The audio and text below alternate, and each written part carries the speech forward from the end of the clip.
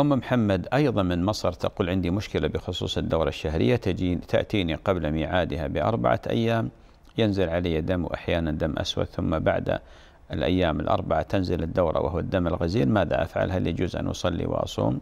مع العلم أن قبل ما كانت هكذا هذه ثالث دورة تحصل معي. أختي أم محمد من مصر بارك الله فيك. بالنسبة لمسألة يعني ما يحصل عند بعض النساء من الإشكالات هذه في قضية آه، ما يسمى لخبطة الدور. أخت الفاضلة أنا أعطيك قاعدة لك ولأخواتي.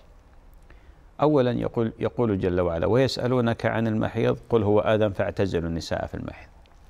باختصار الشارع الحكيم علق أحكام الحيض على وجود الحيض على وجود الدم. ودم الحيض يختلف عن دم النفاس عفوا يختلف عن دم الاستحاضة.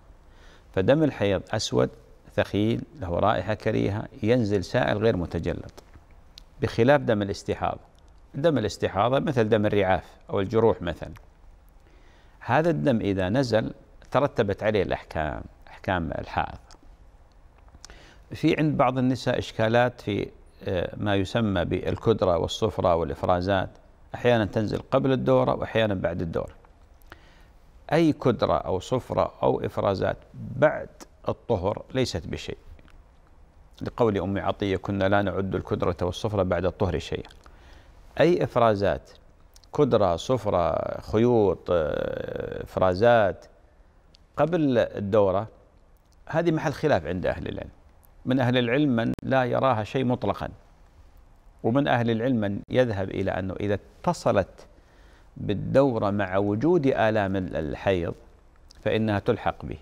بمعنى أنت الآن مثلا يوم السبت تبدأ دورتك في الغالب أو مثلا في في يعني أول الشهر مثلا القمري العربي.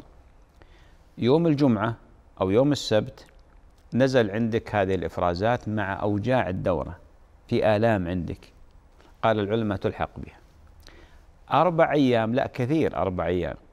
أربع أيام كثير هذه طهر هذه استحاضة هذه تعتبر استحاضة. طيب عندك حالة أخرى وهي أن قبل موعد الدورة ينزل عليك دم الدورة مثل ما ذكرتي أنت.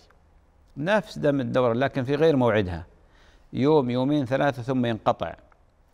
ينقطع. ترين الطهر ثم ينزل عليك هذه دورة.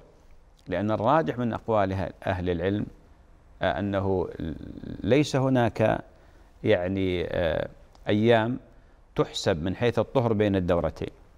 الطهر بين الدورتين ولو كان يوم أو يومين لا يضر. يكون, يكون تكون دورة ما دام أن بمواصفات الدورة اللي اللي ذكرت لك. فلا هناك شيء اسمه أكثر وأقل في مسألة الطهر بين الدورتين. واضح؟ طيب. عندي عندي مسألة أخرى تنتبهين لها فيما يتعلق بالنقط. أحيانا قبل الدورة بيوم يومين تنزل نقط. نقط هذه هذه ليست بحيض. نقطة نقطتين ثلاث هذه ليست بحيض لأن الحيض هو السيلان في لغة العرب وفي لغة الشرع. الحيض هو حاض الوادي إذا سأل حاضت الشجرة إذا خرج منها السائل هذا. كذلك الحيض هو السيلان. بارك الله فيك. أعتقد بأني بسطت لك المسألة هذه وإن شاء الله تستفيدين أنت ومن يشاهدني.